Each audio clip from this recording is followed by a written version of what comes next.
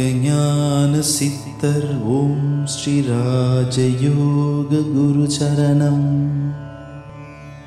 யோகஞான சித்தர் ஓம் ஸ்ரீ ராஜயோக குரு சரணம்.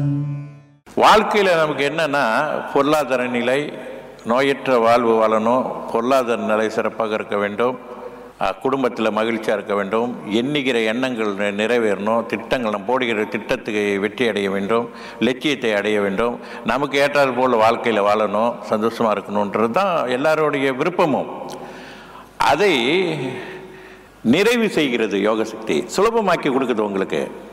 ஒரு விஷயத்தை நீங்கள் பல முறை முயற்சி செஞ்சோம் அது வராமல் இருக்கும். யோக சக்தியெல்லாம் பயன்படுத்தி நீங்கள் தொடர்ந்து செய்யும் பொழுது அது கண்டிப்பாக வரும்.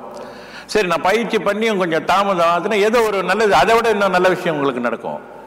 டக்குன்னு கிவ் அப் ஆகக்கூடாது. சில பேர் பயிற்சி பண்ணிக்கிட்டே வருவாங்க. அது வந்து கை கூடி வர நேரத்தில் கிவ் அப் பண்ணிடுவாங்க புதுசாக வேற ஒன்று செய்வாங்க. இல்லை இது இவ்வளோ தான் இது சரியாக வர மாதிரி தெரியலையா? இன்னொரு இது பண்ணுவோம் அப்படின்னு. அப்போ யோக சக்தி அப்படியே தான் போய்கிட்டு இருக்கோம். அந்த மாதிரி இல்லாமல் நம்மளோட மன உறுதியோடு நாம் வந்து அதை செயல்படணும் முடிகிற நேரம் நமக்கு வந்து நாமே நாமே அதை கெடுத்தது போல் ஆகிவிடும். அதனால் நம்ம எது செய்தாலும் நல்ல முடிவு பண்ணி செய்யணும். ஆனால் அதுக்கு முன்னே நமக்கு எது ஏற்றது அப்படின்றத நம்ம பார்க்கணும்.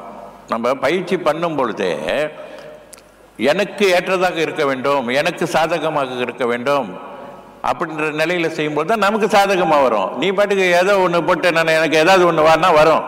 அது பார்த்தா உங்களுக்கு அது அது வந்து உங்களுக்கு அனுபவம் இல்லாததாக இருக்கும். ஆனால் கேட்குறதுக்கு நல்லா தான் இருக்கும். அப்போ போய் அதில் நுழைஞ்சிங்களா என்ன ஆகும்?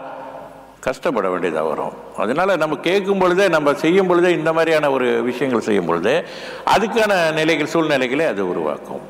யோகஞான சித்தர் ஓம் ஸ்ரீ ராஜயோக குரு சரணம். योगज्ञानसितर्वो श्रीराजयोगगुरुचरणम्।